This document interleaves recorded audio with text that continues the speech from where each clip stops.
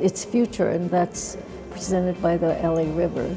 It's a natural resource that has been shut up and not used to its fullest or appreciated to its fullest. And so I think, especially not only people who have lived here most of their lives, but all the people who are coming to Los Angeles to learn its history and appreciate its natural resources.